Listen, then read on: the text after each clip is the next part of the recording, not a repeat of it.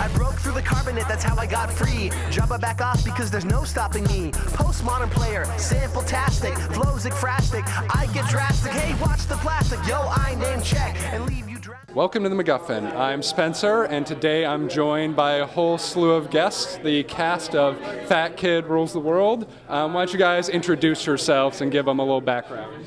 I'm Billy Campbell. I am a, a, a thespian. Uh, well, Yeah. yeah. Yeah. Uh, I'm Jacob Wysocki, and uh, I was uh, formerly uh, the Egyptian god Imhotep. Uh, my name is Matt O'Leary, and I am an actor. So this is, you know, ultimately a film about friendship and understanding and all that stuff.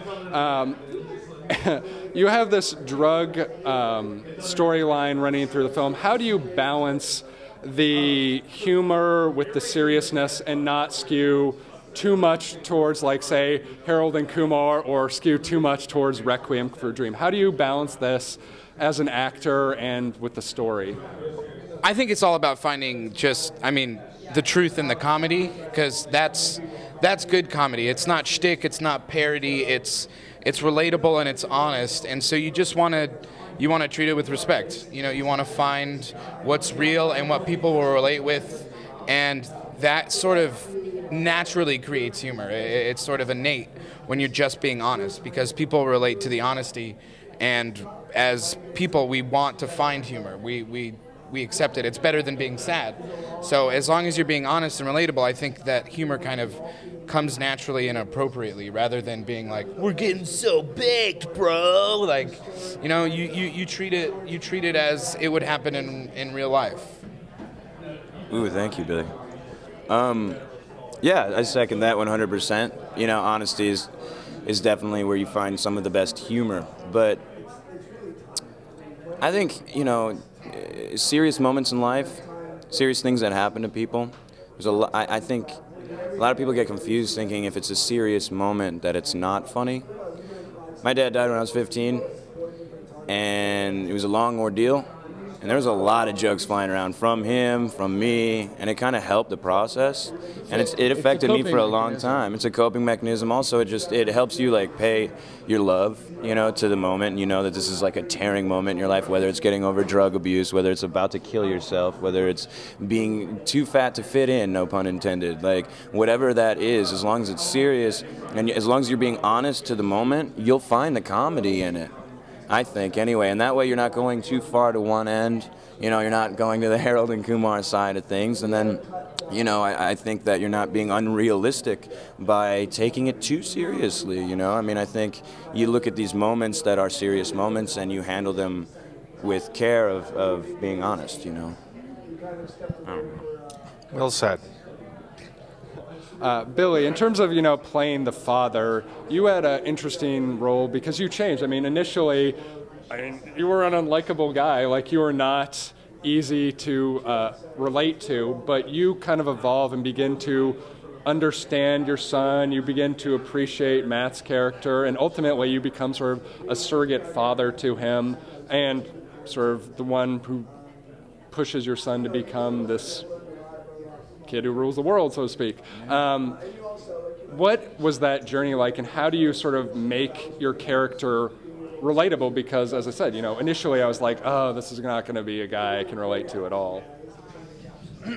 I, I, I don't know really. Uh, um, I sort of joined late, and and um, and I just kind of put myself in, in Matthew's care, in Matthew Lillard's uh, care, and and uh, trusted that he knew what he wanted. It, it I, I guess the only thing I sort of had going on, or that I was thinking of, was to um, to try to do it honestly. I mean, I never, when I finally did read the script, and I, I didn't read it until I was actually on my way to the job, but when I finally did read the script, um, it, it didn't seem to me that it was a character that was that was going to be unsympathetic. I mean, even even in a even in a moment that is not apparently sympathetic, uh, if it's played with honesty, it, it ends up being sympathetic. Do you know what I mean? I, I don't know if that makes any sense at all. Well, I remember when I was auditioning, uh, when I first auditioned for my role, one of the things I said, you know, you, you kind of have like some small talk with the director and the producers. I was like, I want a poster of Mr. Billings. After I read the script, I was like, I need it right next to Captain Picard on my wall. Like, he, Mr. Billings is amazing because you see, like, you, I just, I just loved how you brought this discipline, this accepted discipline that made kids that hate discipline almost be like, oh, well, there's a point to it. And why there's a point, why are parents so hard on their kids? Because Mr. Billings does show the amount of love, you know, Yeah. and, and the encouragement and affirmation that I he, think he that's gives what to his makes children. like the, the that level of like hardness and and rigidity okay is that it's all in love, it's all in, in compassion. And Jacob and Matt, you guys had a difficult challenge of you know balancing the sort of straight man comedic relationship. Um, what was that like? You know, sort of taking on that role and not um, losing uh, perspective of your character and sort of finding it and keeping it realistic and honest. Uh that thing's heavy, dude. It's uh for me that's one of the, the the harder things. I'm just gonna press on. No, you press on. I don't really understand the question. He hit himself. Himself in the head with the microphone. Walk away. Um, I I thought it was, it was it's a little harder for me because I'm a guy that wants to be really funny, and, and that's that's what I'm comfortable I doing. mean, you are funny. yeah, but it but it, it's a it's this like it's it's very dialed back. It's very small, and and it's funny because it's small. Um, but so I had a lot of like inclinations of wanting to be sort of big and funny and and, and loud and make all these funny choices, but I don't think that like Troy wouldn't do that. That's just not how he operated. You know, he was he was more of a flat line, and Marcus was jumping everywhere, and I filled the gaps. Um, so I think it was just a lot of like Lillard being like, you know, bring it back and, and dial it in, and like remember that we're in some like we we, we became pretty good friends. So. So there was a point good, where, you know, yeah, we became say. great friends. No, and no, it got I to get a point. it. I get it, bro. He's a producer. He We can, can edit whatever that, wants, yeah. I guess. we got to a point where Matt was like, "You're being too buddy buddy because you're not there yet in the movie." So we had to. Oh my God, Nick Morton. Oh Nick my Morton. God. There's an interview going on here. You Oh my. Come here, Nick. Apologize. Produce an apology. Thank you. Thank you. Thank you, Nick. I'm gonna let Matt take this away. Oh yeah. So I yeah. What, what was the what was the question? Comparing myself to the character, pretty much. Understanding how to do the How to get into the, the keeping your you know balancing the comedic role versus his straight role. Oh yeah, I've always played kind of the bad guy straight thing until just recently. Um, and I don't think I've ever had the chance to actually show how crazy I actually am. I'm a little, I'm a little nuts, and I thought it would be fun to apply that aspect of my life to this character. And I think the biggest thing that I had to do was keep it straight. You know, I can be as big as I want as long as I have a reason, and I'm honestly going to these places. I'm not going there to, you know, dance and entertain. I'm going there because this is where the character needs to go. Anyway.